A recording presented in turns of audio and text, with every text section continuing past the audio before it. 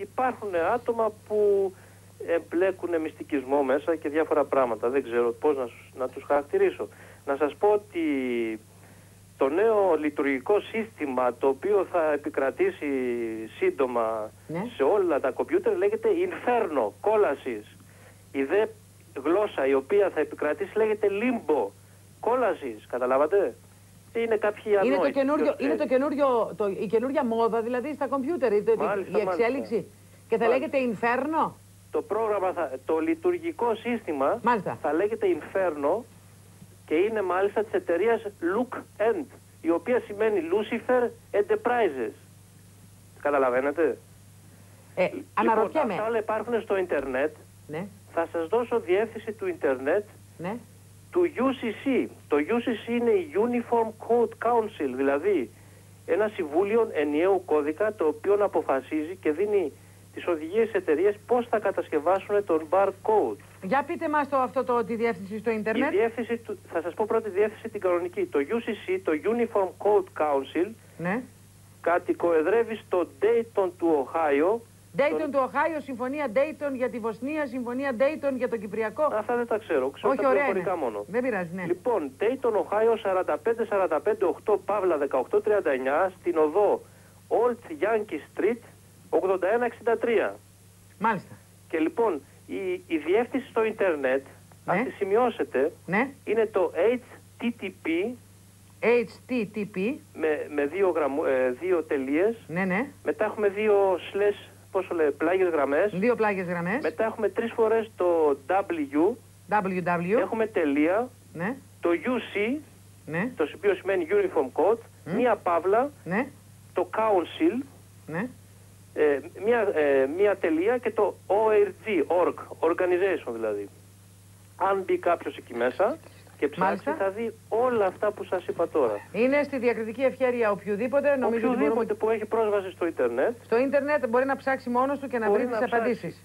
Και μάλιστα στη συγκεκριμένη σελίδα D36 Παύλα G.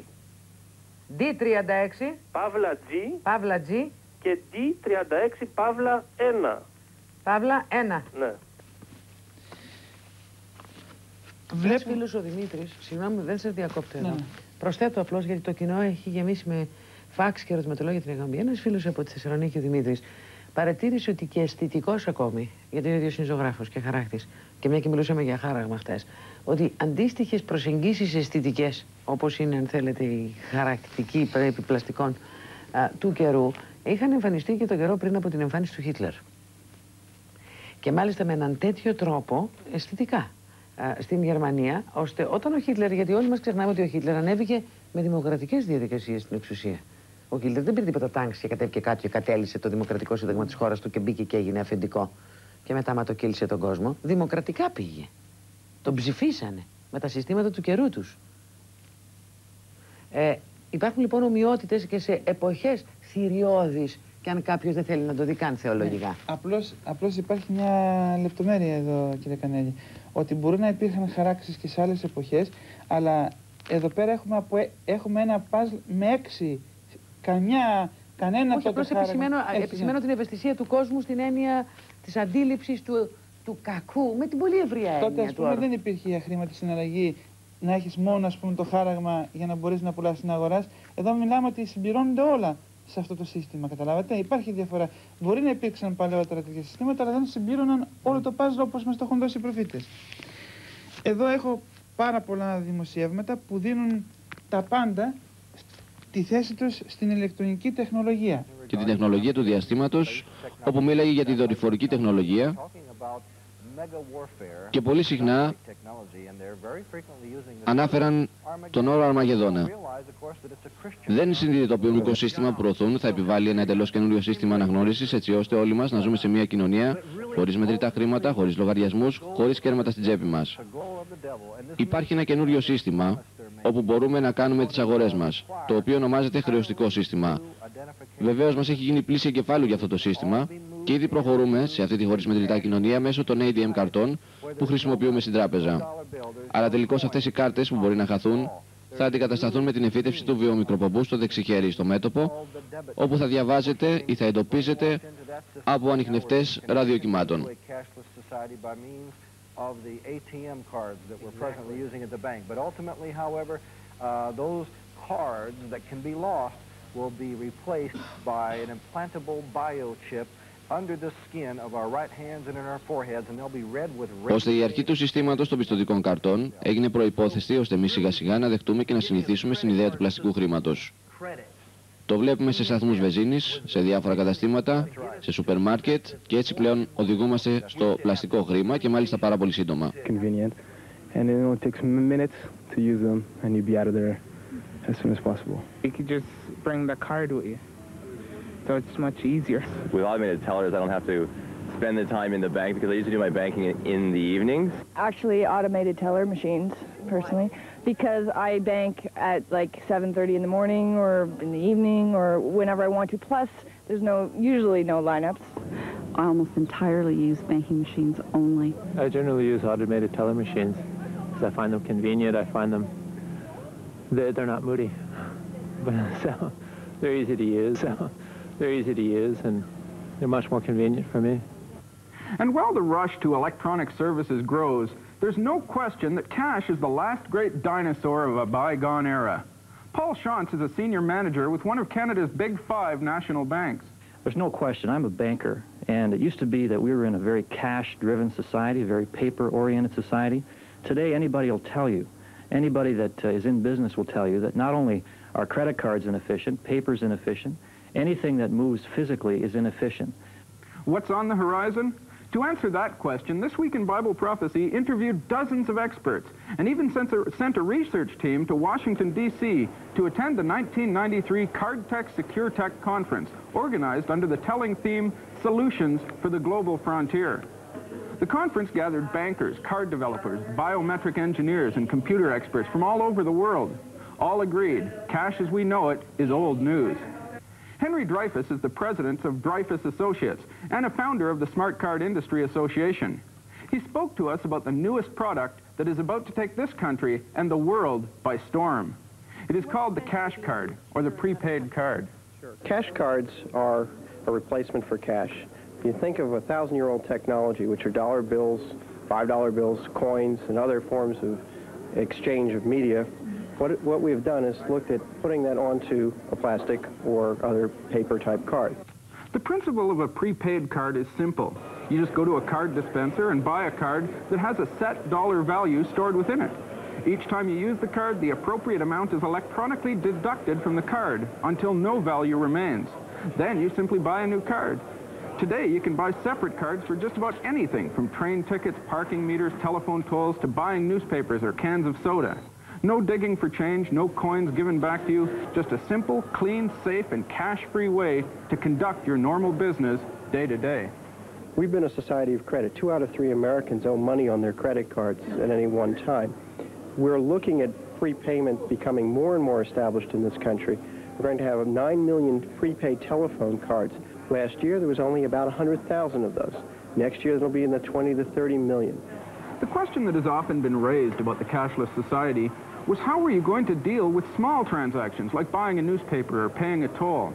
It would appear that the simple prepaid cash card technology provides a clue. Already, the U.S. manufacturers who produce 90% of the world's parking meters have begun to switch from coin access to card access. Moreover, the conversation at the CardTech SecureTech conference was already focusing on how prepaid card applications for the smaller purchases could be merged with smart card technology to provide one... Smart cards are actual small microcomputers with operating systems, development language, interchange commands, and even having their own databases inside them. But what can all this power do? How can it help to prevent against the rampant card fraud we've just examined? Well, the answer is twofold. First, the microchip that is contained in the card is virtually counterfeit-proof, and it's almost impossible to access for computer hackers. In fact, in France, where almost 100% of the bank cards are now smart cards, a recent report shows a 22% drop in bank card fraud. Compare this to Visa and MasterCard, who report continually growing losses and who now reveal that they lost $1 billion in card fraud in 19 contained in the card is virtually counterfeit-proof, and it's almost impossible to access for computer hackers. In fact, in France, where almost 100% of the bank cards are now smart cards, A recent report shows a 22% drop in bank card fraud to Visa and MasterCard, who report continually growing losses and who now reveal that they lost $1 billion in card fraud in 1991 alone. But even this does not do justice to the true power of the smart card. That power is found in the card's ability to positively link the card to its owner. In other words, to make sure the person using the card is the rightful owner of that card. Today's personal identification number-based system is woefully inadequate. It simply requires the cardholder to punch in a secret code when using his or her card. The problem with this system is that it fails to take into account the aged and mentally handicapped who can't remember their numbers. It doesn't protect against a criminal who steals the card and demands to be told the number. And most importantly, it does not protect against human carelessness. A Federal Reserve study done several years ago found that the majority of people actually wrote their PIN numbers right on the card, so they wouldn't lose it, totally defeating the system. Όταν δείτε αυτό πολύ προσεκτικά σχετικά με το Hughes Aircraft, έξυπνο freeway σύστημα που έρχεται στο άμεσο μέλλον. Θα μπορούσε να είναι διόδια. Κάθε ένας από αυτούς τους οδηγούς δεν χρειάζεται να σταματήσουν στα διόδια να κόψουν ταχύτητα ή να κυνηγήσουν για αλλαγή. Αλλά σε όλα τα διόδια οι παραβάτες θα διακριθούν. Όλα συμβαίνουν ηλεκτρονικά σε ένα σύστημα που σχεδιάστηκε και αναπτύχθηκε ή ολοκληρώθηκε από την εταιρεία Hughes Aircraft, που είναι θηγατρική εταιρεία της General Motors. Διόδια, stop, κίνηση, φράγματα, εμπόδια, αυτά είναι γνωστά στον οποιονδήποτε που ταξιδεύει στους δρόμους διοδίων ενός κράτους. Αλλά η Hughes εταιρεία αντικατέστησε όλα αυτά με μια επιδέξια γέφυρα στεκόμενη στον δρόμο. Στην καρδιά αυτού του συστήματος υπάρχουν τρεις κεραίες επικοινωνίας τοποθετημένες στην κύρια όψη της γέφυρας. Οι κεραίες επικοινωνούν με ένα τρασπόρτερ που είναι ενσωματωμένο στο παρμπρίζ του αυτοκινήτου, στο όχημα. Αυτοί οι τρανσπόρτες τελικά θα είναι ενσωματωμένοι με τα νέα αυτοκίνητα. Όταν ο τρανσπόρτερ του αυτοκινήτου έρχεται ή μπαίνει στο πεδίο της γέφυρας, ραδιοσήματα από τις κεραίες προκαλούν τον τρανσπόρτερ να αναγνωρίσει τον εαυτό του. Σε απάντηση στο ραδιοσήμα, ο τρανσπόρτερ διαλέγει ένα ξεχωριστό πύχη χρόνου και μεταδίδει στις κεραίες έναν αριθμό για την αναγνώρισή του. Οι κεραίες λαμβάνουν τον αριθμό αναγνώρισης και εκχωρούν το κάθε όχημα σε ένα ξεχωριστό πύχη χρόνου για τυχόν μεταγενέστερες μεταδόσεις στοιχείων δεδομένων. Αυτή τη διαδικασία παρέχει στις κεραίες διαβάσματος την ικανότητα να επικοινωνεί ταυτόχρονα με πολλαπλά οχήματα σε πολλαπλές λωρίδες του δρόμου και ακόμα με αυτά τα οχήματα που αλλάζουν λωρίδες. Οι κεραίες μεταδίδουν τις πληροφορίες που έλαβαν στο κομπιούτερ, το οποίο μέσω μιας διαδικασίας που ονομάζεται η γωνία ή η άποψη της εισόδου συνδυάζει τις πληροφορίες από τις κεραίες για να προσδιορίσει την ακριβή τοποθεσία του τρανспόρτερ του κάθε αυτοκινήτου. Με κάθε επιτυχή μετάδοση η θέση του οχήματος στο δρόμο γίνεται γνωστή. Με αυτόν τον τρόπο το σύστημα ανοιχνεύει ή εντοπίζει κάθε όχημα ανεξάρτητα με τι ταχύτητα έχει. Και με το αν αλλάζει λωρίδες ή αν συντρίβεται ή συγκρούεται με άλλο όχημα. Ακόμα μπορεί να ανοιχνεύσει μηχανάκια που έχουν πινακίδες και που βρίσκονται στην ίδια λωρίδα. Τα στοιχεία μεταδίδονται από τον τρανспόρτερ του οχήματος και στέλνονται στο κομπιούτερ για το σκοπό εφαρμογής ή επιβολής. Το σύστημα επιβολής παραβάσεων που δημιουργήθηκε από τη Hughes περιέχει μια χρωματιστή κάμερα τοποθετημένη πάνω από κάθε λωρίδα του δρόμου. Η επεξεργασία βιντεοαπεικόνησης της Hughes εξακριβώνει όταν το πίσω μέρος του οχήματος μπαίνει στο πεδίο της κάμερας, στην πλατφόρμα, η κάμερα συλλαμβάνει την πινακίδα του αυτοκινήτου και την κρατάει σε προσωρινή αποθήκευση. Αν η πινακίδα του αυτοκινήτου ισχύει, η εικόνα του εξαφανίζεται από την εικόνα του επόμενου αυτοκινήτου, αλλά αν το αυτοκίνητο έχει κάνει παράβαση, η εικόνα του σώζεται και μεταφέρεται στο κομπιούτερ. Το σύστημα συλλογής διοδίων της Hughes είναι τέτοιο έτσι ώστε η αποτυχία ή η δυσλειτουργία οποιοδήποτε ξεχωριστού παραρτήματος ποτέ δεν θα, δεν θα δημιουργήσει τον αποκλεισμό κάποιας λωρίδας ή την απώλεια ίσπραξη. Δηλαδή είμαστε σε αυτό το all συν μάτι του εωσφόρου. Μιλούσα σε κάποιον μία μέρα για αυτό το σύστημα αναγνώρισης και το γνωρίζουμε καλά. Στην πραγματικότητα, αρχικά, είχα ακούσει γι' αυτό να συμβαίνει στην Ουάσιγκτον, στην κλινική Sport Animal και τους ρώτησα γι' αυτό. Και είπαν, Α, αυτό είναι το πιο ωραίο σύστημα. Το κάνουμε σε όλα τα ζώα μας για 35 δολάρια το ένα. Και μετά βρήκα ότι το ίδιο κάνει και η κλινική των ζώων στην Ινδιανούπολη. Βρήκα πολύ ενδιαφέρον το εξής που υπόθηκε. Ο Θεός είναι παντού. Ο πατέρας του Κυρίου ημών Ιησού Χριστού είναι παντού. Ξέρει τα πάντα. Είναι παντού την ίδια στιγμή. Και έχει όλη τη δύναμη. Ο σατανάς είναι ελλειπής σε όλα αυτά όμως.